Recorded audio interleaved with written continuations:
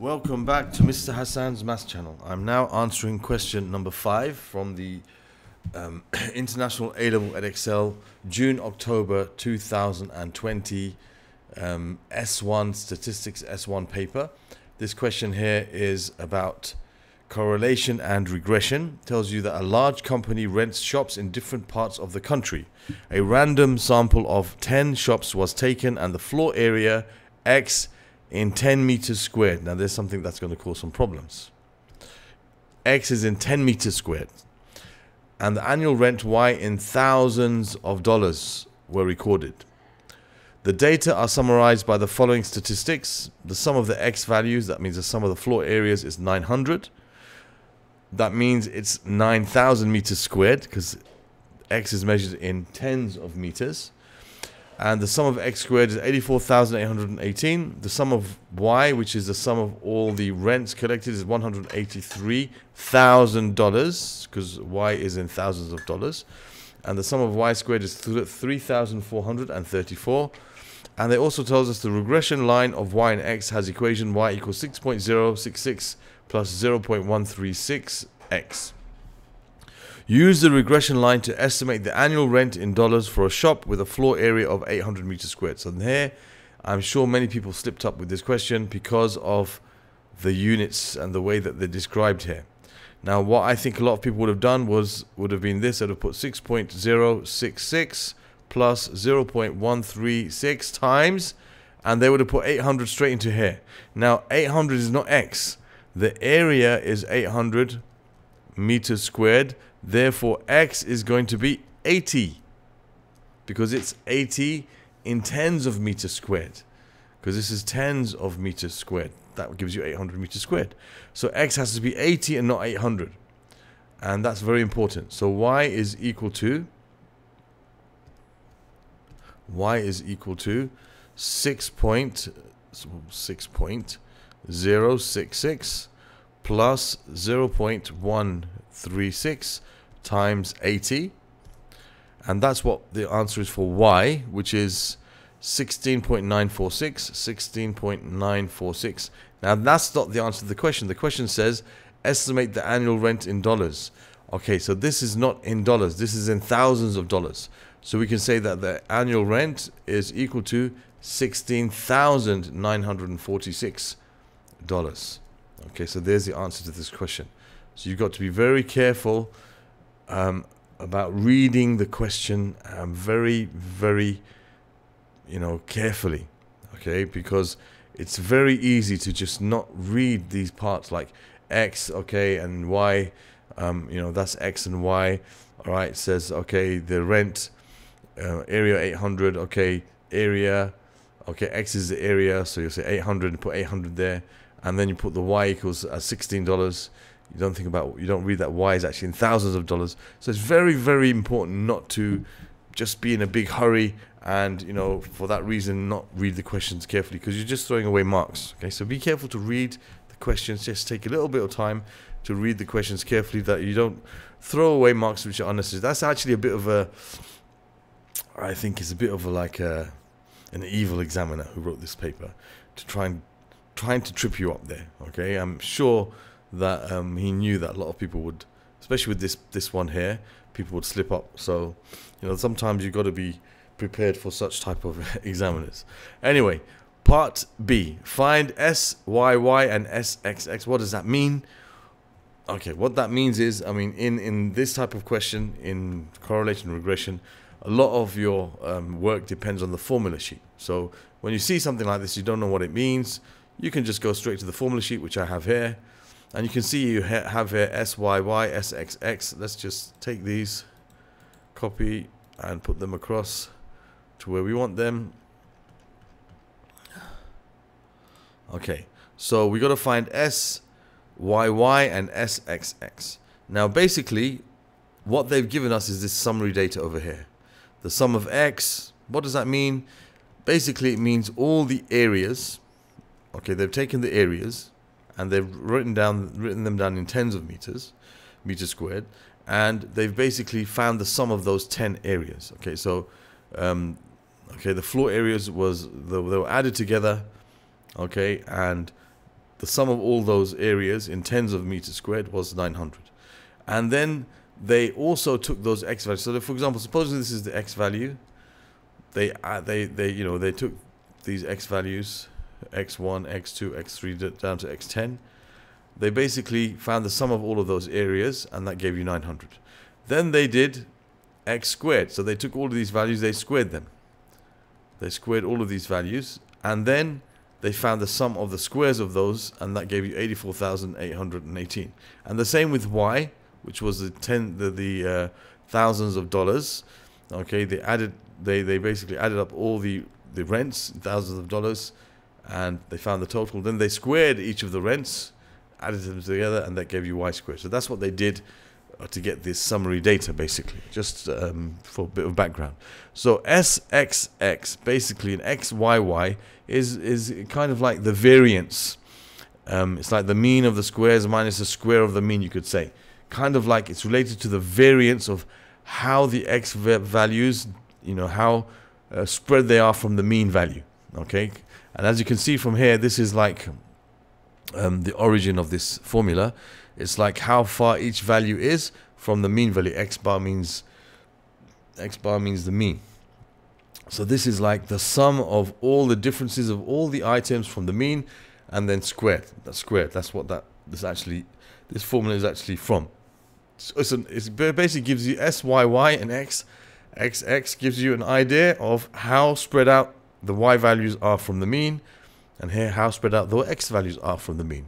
So they want us to find s y y and s x x. So s y y as they've told us here is the sum of y squared means it's um, all the y values are squared and then added together minus the sum of y squared over n. So then they've they've taken the sum of all the y values and then squared that and then divided by the number of items which is 10. I think n equals 10 here because there's 10 shops that were considered.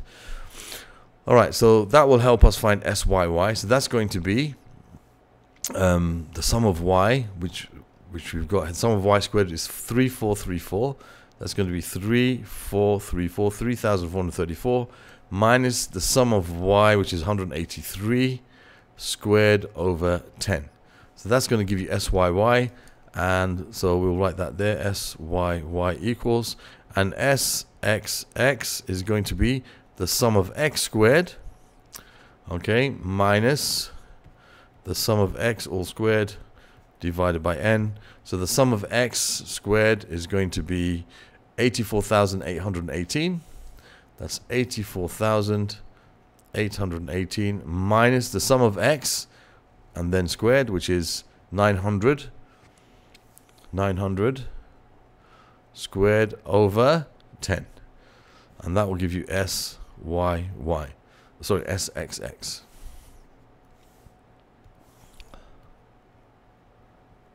Okay, so let's work out what these are. So we have here 34, 34, 3,434 minus 100 and, was 83? I can't read my own writing there. 183, that's right. 183. So it's 183, which has to be squared, divided by 10. And that gives you 85.1, so that's SYY and SXX is going to be let's change this to 900 9 and two zeros and change this to 84,818 and that gives us 3818 3818 okay so there's part B, S double X and S double Y. Then it says find the product moment correlation coefficient between Y and X. Again, so a lot of students don't understand what this means. It's very simple. It just means basically um, this is a numerical value which tells you how close together the points are to a straight line. So if you plot Y against X, so this is the floor area and this is the rental, um, what was it, the yearly rent yeah, the annual rent. Okay, so you plot them for all all of the 10 points. Okay, I, I would assume as the area increases, the rent increases as well. So there would probably be some sort of positive correlation.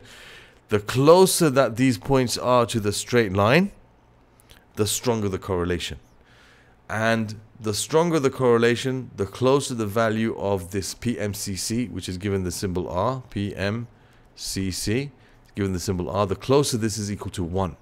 If it's positive correlation, the closer is equal to 1, the closer these are to a straight line. Okay, the closer it is to 0, the further away they would be from a straight line. They'd be spread out everywhere. If it's got if it's got negative correlation, which is very strong, then the value of R will be negative 1. The closer it's to negative 1, the stronger the negative correlation, meaning as one quantity goes up, the other one goes down. In this case, I'm going to assume it's going to be positive. Of kind of makes sense that if the floor area increases, you've got to pay more rent. I would assume that would be the case. But we'll see what the figures give us in the end. But we got to find what the value of R is. Again, this is a topic which heavily relies on the formula sheet. So if you go to the formula sheet, you'll see very clearly it says the PMCC, the product moment correlation coefficient is, and they give you this, this long thing here. Now all we really need to worry about is this part here. Just that section there. We don't need really need to worry about all of those.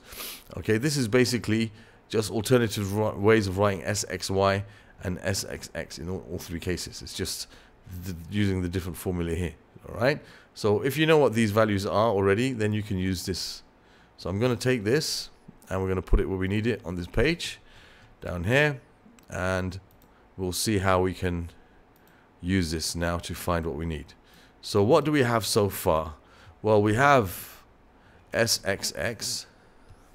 We have SXX is 3818. We have SYY is 85.1. So we have these two. The one that we need is SXY. Okay, we need to find what SXY is. So let's go again back to the formula sheet and look what SXY is given by and take this across and see if we can use this to find it. Okay, so we're going to attempt to use this to find what SXY is. So I'll just put it over there. Now we can see that SXY is equal to the sum of, you got to have the sum of x times y, which in our summary data, we don't seem to have. All right, so let me just do something first. Okay, so our summary data that we were given, um, we don't have the information we need to find SXY because we, although we have this and we have this, we don't have this. So we can't use this formula and the information given to us to find SXY. And to find R, we need it. We need to have this. This is what's missing. This is what's missing for us to find what R is. All right, now, a lot of people might give up from here. They might think, oh, we don't know what to do. Don't ever give up. Always go back to what we've been given. Think, what do they give us? Now, I've highlighted something that they've given, uh, they already gave us, which I'm going to just copy and um, bring down here. So the regression line of y and x, that's something they gave us. Okay, that's something which um, it might come in useful. We don't know. If you're not sure, just think about it. Right. So they've given us this. That's an, an initial, an, another piece of, or an additional piece of information they've given us. Maybe we thought that's only useful for part A, and we don't, we might not need to use it again. But just keep that in mind, because we've come to a a state where we realize that we can't go any further using the normal kind of methods. Let's go also back to the formula sheet and have a look. All right, so we can see that, all right, what they gave us, the additional thing they gave us was the least squares regression line of y on x, which is y equals a plus bx. So we know what a and b are from this formula that we're given. All right, so let me just take this. This this might help us. If we consider this or compare this uh, to what we've been given here, it might help us. So I'm going to now just paste this. So you're looking back and forth uh, you know, to the um, basically the formula sheet. So I'm just I'm just doing this to make it kind of like clear to you and keep everything in one place. So you'll see that we've been given this in the question, and they've told us that b, okay, which is this 0.136, is equal to is equal to. Let me just highlight it. SXY over SXX. Now we need to find SXY. Now we can see that this is b because it's y equals a plus bx. y equals a plus bx. So b is 0.136. 0.136.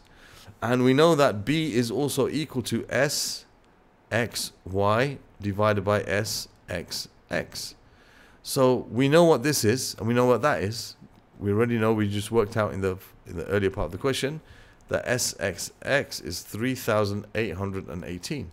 So therefore we can say that SXY is going to be B times SXX. So it's going to be 0.136 multiplied by 3818.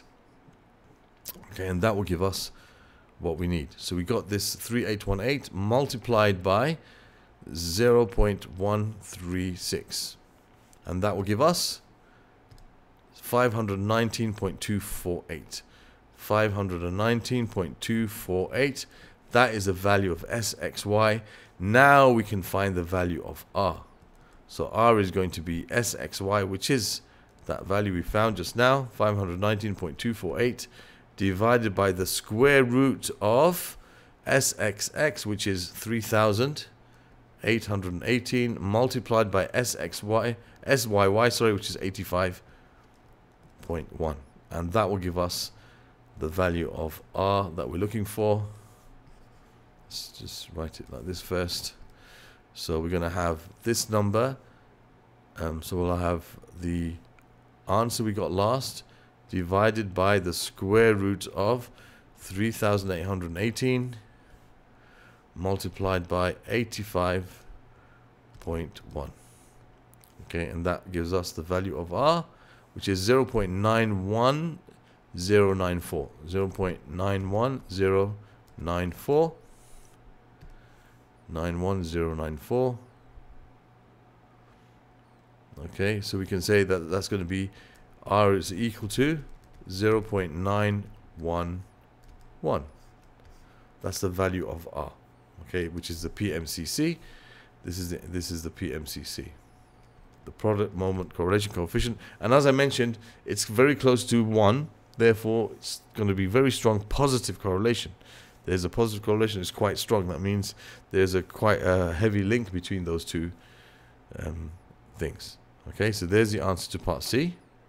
Okay, now for part D. It says an 11th shop is added to the sample. The floor area is 900 meters squared and the annual rent is $15,000. So this means, remember X is in tens of meters, so X is 90 and this means the Y value for this 11th is 15.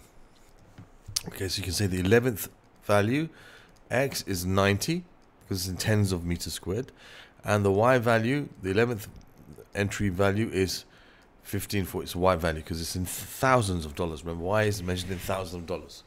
Use the formula SXY equals a sum of x minus x bar times y minus y bar to show that the value of SXY for the 11 shops will remain the same as it was for the original 10 shops. Okay, so what does this mean? Um, just imagine we had the table of values. You had x, and you had the y.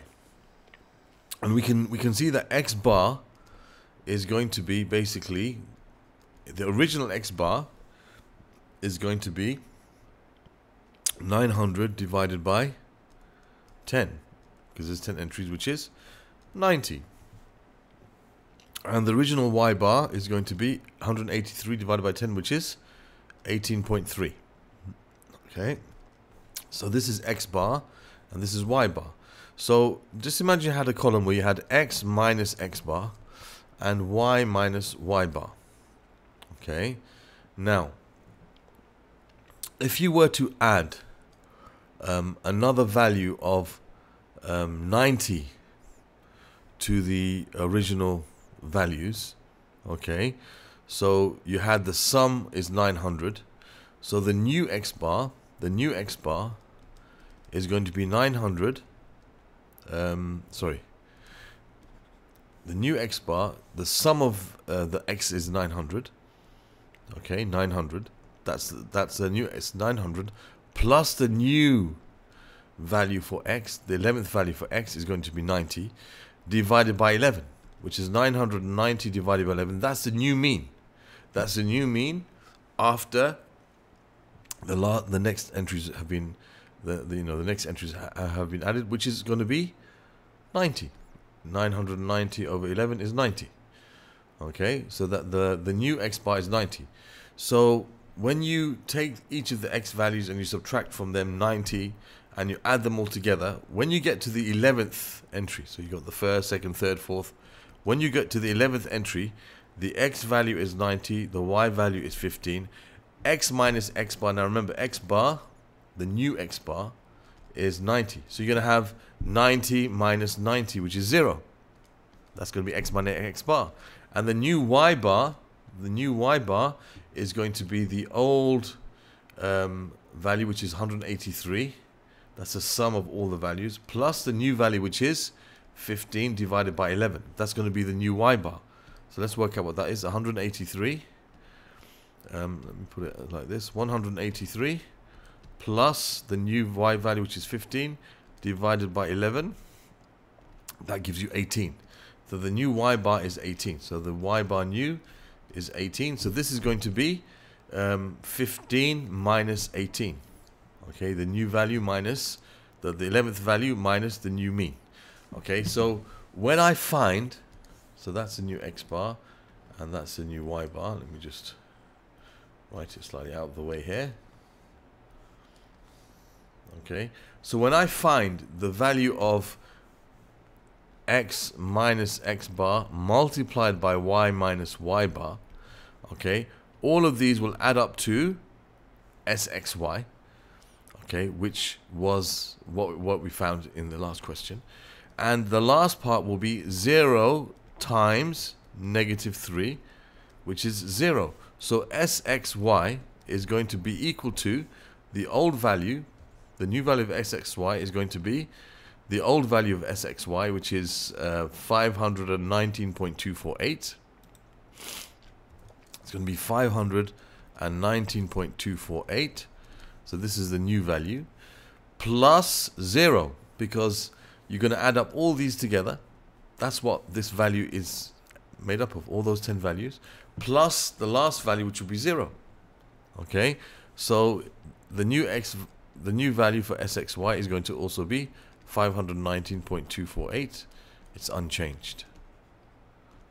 Okay because I, I, hope that makes it the reasoning clear behind it okay? So we could say as the um, the 11th x value is 90 and the mean of the values is equal to 90 therefore x minus x bar is going to be 0 therefore x minus x bar times y minus y bar equals 0. Therefore, 0 is added to the old sxy value. Okay, so that kind of like explains it in words. I hope that was clear.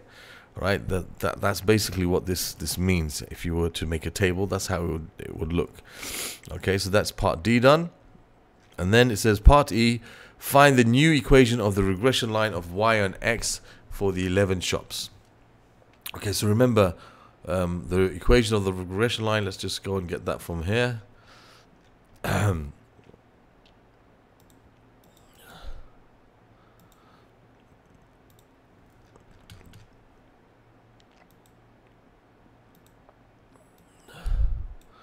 the regression line coefficient of y and x um, sorry, the regression line, um, the equation, regression line of y and x is y equals a plus bx. Okay, and so we've got to find the new equation of the regression line. So b is equal to s x y over s x x. Now we can see that b is going to be unchanged. s x y is going to be the same as what it was before and SXX is also going to be the same. Why? Because if you add together all of these, all of these, that's going to give you the old value of SXX. And you're going to add together, add to that this, which is going to be 0. So you can say that, I don't even have to write this down. I can say that as SXY and SXX are unchanged, they're unchanged. Therefore, B is equal to the same value as was before, which is 0.136. That was the value of b before. b is b is unchanged. I'll put b is unchanged. 0.136. b is unchanged. Therefore, b equals 0.136. So we got the value of b. Now we got to think about the value of a. Now a is equal to y bar minus b times x bar. Now we know that y bar, the new value of y bar, we just worked it out of here. It's 18. Okay, this is 18 minus b times x bar. And we know that x bar is the same as it was before, which is 90. Okay, so um, we can say A is going to be 18 minus 0.136 times 90. So this will be A. We haven't got enough space here to... I'll just make a bit more space. Okay, so A is equal to 18, which I've got here, minus 0.136 times 90, which gives you 5.76. So A is 5.76. Okay, so that's 5.76. Therefore, the new equation is y equals, you've got a plus bx, um, a plus bx, so a is 5.76 plus b, which is 0.136, that remains the same, times x. And there we have the answer to part E. And then finally part F, the company is considering renting a larger shop with area 3000 meters squared. So X is equal to 300. Comment on the suitability of using the new regression line to estimate the annual rent. Well, this looks like it's a bit too big because the sum of X previously was 900. So the mean of X was 90. And this is 300. It looks like that, you know, if the sum of all those 10 was 900, okay, and this is just, this on its own is 300, it looks like that X equals 300, okay, seems to have a much larger area than in the collected data. Because just imagine just that on its own is 300 the sum of all those 10 was 900 the mean was 90 so it looks like it's way out of the data. Therefore this would be unsuitable this is unsuitable. Unsuitable as it is extrapolation. Extrapolation Okay, when you go outside of your data range, so for example, if you have your data range within here, you have your line of best fit and your last bit of data is there, but you use it to estimate something over here, it's outside of our range of the data.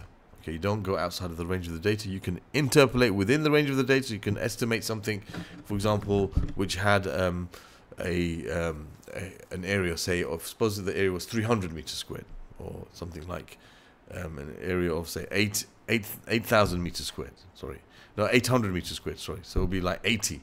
That's more within the range of our data. Okay, x would be therefore, therefore be 80.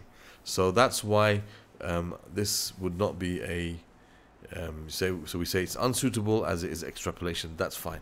All right, it's much larger than the, the much larger area than in the collected data. Extrapolation unsuitable. Excuse my bad handwriting. I hope you can see that. Um, anyway, so thank you for, for watching. That concludes this question number five from the June October 2020. Be very careful about questions. Um, careful to read the units given, um, you know, carefully so that you don't lose marks, you know, for no, you know, reason apart from just carelessness. All right. So be aware that some examiners do try to trip you up and be ready for it. So here we have um, on this area at the end of the video, you'll see a link to the playlist for this paper. Here a link to the playlist for the topic of correlation regression from S1. You can subscribe to my channel by clicking on this link and you can also look at the description of the video to find uh, links to other material you might find useful. Thank you very much. See you soon.